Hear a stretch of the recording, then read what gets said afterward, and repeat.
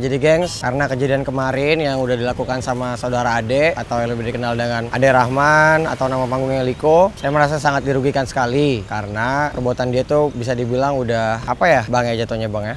merugikan. Merugikan ya. Itu kalau dari segi hukum dia kena pasal apa aja? Ini Mas Angga ini uh, hukum gue yang akan jelasin ke kalian. Ya, seperti yang sudah dijelaskan oleh uh, saudara Yang Lex bahwa kami telah melaporkan uh, saudara Ade Rahman alias uh, Liko ke Polda Metro Jaya terkait video yang telah diupload oleh saudara uh, terlapor ini ke akun YouTube yang mana isi atau kontennya berisi Eh, perkataan-perkataan uh, yang kami anggap adalah sebuah perbuatan tindak pidana khususnya tindak pidana penghinaan, pencemaran nama baik dan juga uh, apa namanya uh, fitnah.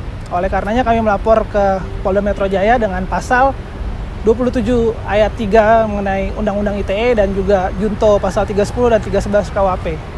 Mungkin itu yang dapat saya sampaikan. Nah sebenarnya saya sih nggak mau hal ini terjadi. Jadi biasa orang ngedis gue, ngata-ngatain gue, cuman itu hip hop lah dan gue juga nggak permasalahkan. Cuman di kasus ini Mas Angga kenapa sampai saya laporin karena saya baik sama orang ini, saya kasih fasilitas untuk tempat tinggal juga dan saya kasih pekerjaan yang mana untuk lulusan SMA seperti dia itu dapat salary di atas UMR itu udah ya lumayan. Cuman untuk lebih detailnya lagi nanti gue akan bikin di video satu lagi karena gue lagi sibuk uh, dan juga memang sebenarnya sibuk dan lebih itu gue harus syuting lagi ke Trans. Jadinya cukup sampai situ aja dan buat saudara Ade kita udah ngelakuin apa ya hukum? Uh, ya upaya hukum dan sesuai dengan apa proses namanya? hukum yang ya proses hukum ya, ya proses hukum yang baik dan benar. Dan setelah ini tinggal tunggu pemeriksaan lebih pemeriksaan lanjut. lebih lanjut dari pihak yang berwajib. Nanti surat panggilannya akan dikirim ke yang bersangkutan. Yang bersangkutan ke alamat rumah ataupun alamat rumah KTP ya? Atau ataupun ditelepon. Ataupun ditelepon langsung ke saudara Ade jadinya saya tidak main-main untuk ngurusin kasus ini. Semoga nanti bisa jadi pelajaran ya, ya Bang ya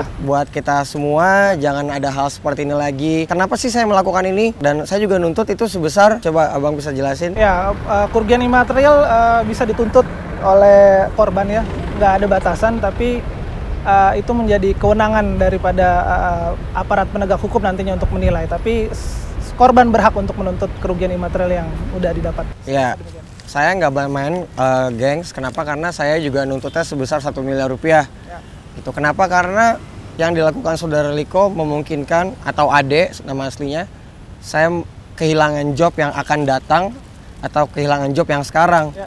Karena opini publik yang saudara Liko buat atau fitnah berhasil menyudutkan saya. Jadi saya lebih pilih jalur hukum untuk kasus ini. Seperti itu. Nanti video berikut uh, video lebih detailnya berikut dengan saksi staf karyawan saya akan saya upload secepatnya setelah saya melakukan aktivitas saya. Ya. Mas Angga ada yang mau disampaikan dari ya. law firmnya apa atau Mungkin apa? itu aja saya kuasa hukum daripada saudara Yang Lex. Saya dari Frans Palayokan and Partners. Ya, selanjutnya kita akan mengadakan pemeriksaan lebih lanjut tapi untuk sementara cukup sampai di sini.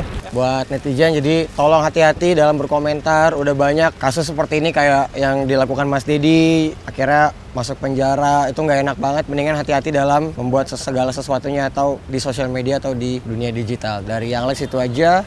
God bless you.